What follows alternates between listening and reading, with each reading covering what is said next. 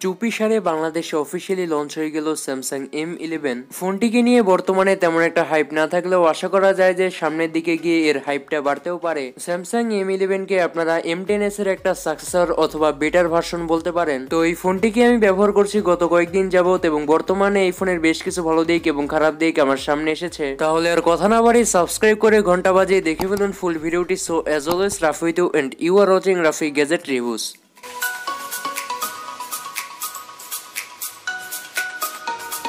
আজকের এই ভিডিওটি আমাদের স্পন্সর করেছে শহীদ টেলিকম রণ সুপার মার্কেট কোনাবাড়ি, গাজীপুর। এবং আমার চ্যানেলের কথা বলে এখান থেকে যে কোনো স্যামসাং এর প্রোডাক্ট কিনে পাবেন, অবশ্যই ডিসকাউন্ট অথবা গিফটস তো বর্তমানে স্যামসাং এম ইলেভেন এর অফিসিয়াল প্রাইস ধার্য করা হয়েছে চোদ্দ হাজার নশো নিরানব্বই টাকা।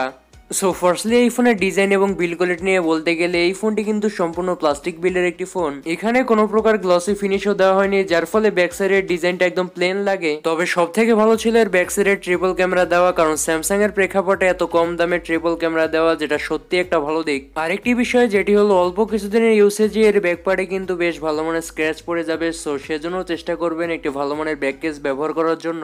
অন্যদিকে ডিসপ্লে সেকশন এখানে ব্যবহার করা হয়েছে six point four inch PLS TFT display এই প্যানেলের রেজলিউশন হলো এইচডি প্লাস এবং এর পিপিআই ডেন্সিটি হলো টু হান্ড্রেড সিক্সটি এইট এই প্যানেলের কালার অ্যাকুরেন্স এবং স্যাচুরেশন ছিল মোটামুটি মানে বেশি একটা ভালো ছিল না। আর এছাড়াও এই ফোনের ডিসপ্লেতে আদৌ কোনো প্রোটেকশন গ্লাস ব্যবহার করা হয়েছে কিনা তা নিয়ে ওয়েবসাইটে কিছু দেখলাম না। তো যাই হোক, এই ফোনের ডিসপ্লে নিয়ে আমরা যতই খুঁটিনাটি বের করি না কেন, এই ফোনের মূল সেলিং পয়েন্ট কিন্তু এর পাঁচ হোল ডিসপ্লে আর আমার ধারণা, যারা এই ফোনটা কিনবে, তারা ম্যাক্সিমামই এই ফোনের পাঁচ হোল ডিসপ্লের জন্য ফোনটা কিনবে। ক্যামেরা সেকশনে স্যামসাং এম ইলেভেনের রিয়ারে থাকছে ট্রিপল ক্যামেরা সেটআপ যার primary thirteen MP ultrawide five MP depth sensor two MP অন্যদিকে ফ্রন্টে ব্যবহার করা হয়েছে এইট এমপির সেলফি ক্যামেরা ডে লাইট এবং লো লাইটে উভয় লাইটের শর্টসগুলো আপনারা দেখতে পাচ্ছেন। আমি এর শর্টসগুলো দেখে এর ক্যামেরাকে তেমন একটা আহামরি বলব না বাট আমি যে এর কোয়ালিটি পেয়েছি তা মোটামুটি ঠিক ছিল। ছবিতে শার্পনেস এবং ডিটেলস এর পরিমাণ কিছুটা কম ছিল বাট ডাইনামিক রেঞ্জ ঠিক ছিল। অন্যদিকের সেলফি ক্যামেরা এই টেম্পো অনুযায়ী ভালো ছিল, যা দিয়ে আপনারা খুব সুন্দর সুন্দর সেলফি তুলতে পারবেন। আর উভয় সাইডের পোর্ট্রেট মোডই মোটামুটি ভালো ছিল বাট বেশি একটা অ্যাকুরেট না। সিকিউরিটি হিসেবে এখানে এই ফোনে ব্যবহার করা হয়েছে ফিঙ্গারপ্রিন্ট ও ফেস আনলক ফিঙ্গারপ্রিন্ট আমি টেস্ট করেছিলাম, যা ছিল বেশ ফাস্ট জাস্ট আঙুলা লাগা মাত্রই ফোনটাকে আনলক করে ফেলে এবং তা তো ভিডিওতে আপনারা দেখতেই পাচ্ছেন।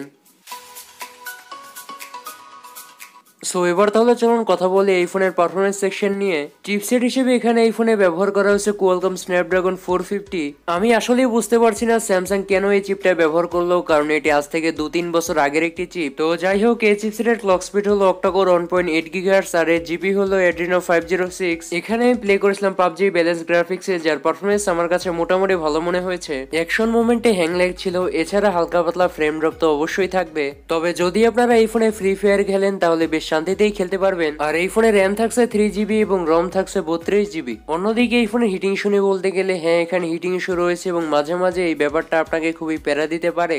তবে আপনারা যদি এই ফোনের উপর হেভি প্রেশার না দেন, তাহলে আমার মনে হয় না যে এই ফোনটি বেশি একটা সমস্যা করবে। ব্যাটারি সেকশন এই ফোনে ব্যবহার করা হয়েছে ফাইভ থাউজেন্ড এমএস রেখে লিথিয়াম আয়ন ব্যাটারি যার ব্যাকআপ নিয়ে বলতে গেলে আপনারা হেভি ইউসেজে এই ফোন থেকে প্রায় দশ ঘণ্টার মতো স্ক্রিন অন টাইম পেয়ে যাবেন। আর একদম নর্মাল ইউসেজেও টেনে টুনে প্রায় দুই দিনের মতো পার হয়ে যাবে। অন্যদিকে এই ফোনের চার্জিং নিয়ে বলতে গেলে চার্জিং এর জন্য এখানে থাকছে টাইপ সি পোর্ট এবং এর বক্সের সাথেই দেওয়া হয়েছে একটি ফিফটিন ওয়াটের ফাস্ট চার্জার যা দিয়ে ফোনটিকে সম্পূর্ণ চার্জ করতে সময় নেয় প্রায় আড়াই থেকে তিন ঘণ্টার আশেপাশে। আর এই ফোনটিকে আমার কাছে বেশ হালকা পাতলা এবং পাঁচ হাজার এমএস এর ব্যাটারি থাকার ফলে অনেকটা স্লিম মনে হয়েছে। সো এজন্য এটিকে এক হাতে খুবই স্বাচ্ছন্দ্যে ব্যবহার করা যাবে। আউট অফ বক্স ফোনে থাকছে অ্যান্ড্রয়েড টেন এবং উপরে থাকছে One UI version two point zero One UI এর বর্তমানে যা স্ট্র্যাটেজি তার ফলে প্রত্যেকটা স্যামসাং এর ফোনই বেশ অপটিমাইজড এবং ফ্লুয়েন্ট মনে হয় আমার কাছে। ভালো ছিল এই ফোনের কল কোয়ালিটি এবং সাউন্ড এবং এছাড়াও এই ফোনে আমি নেটওয়ার্ক জনিত কোনো সমস্যা লক্ষ্য করিনি। আমার কাভারেজে খুব সুন্দরভাবে এয়ারটেলের ফোর জি পেয়ে যাচ্ছিল। আর এই ফোনে থাকছে ট্রিপল স্লট যার ফলে ব্যবহার করতে পারবেন দুটি সিমের সাথে একটি এসডি কার্ড স্লট সো কথা বলতে বলতে বর্তমানে প্রায় ভিডিও লাস্ট পার্টে চলে এলাম। এখন আমি বলি মূলত এই ফোনটি কাদের জন্য সাজেস্টেড স্যামসাং এম ইলেভেন এই ফোনটি তেমন একটা আহামরি না। এই ফোনের মূল হাইলাইটসটাই হলো এর পাঁচ হোল ডিসপ্লে এবং আমি আগেও বলেছি, আবারও বলছি, এই ফোনটা যারা কিনবে, তারা ম্যাক্সিমামই এর ডিসপ্লের জন্য এই ফোনটা কিনবে।